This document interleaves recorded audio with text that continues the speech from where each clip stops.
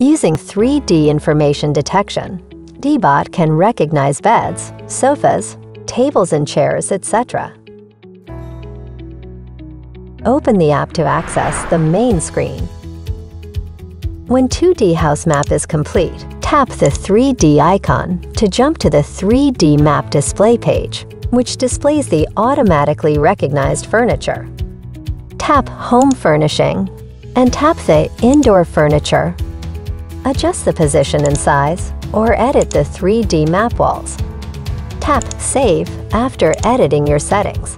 Tap the Furniture Area Cleaning button and then select the furniture graphic on the map.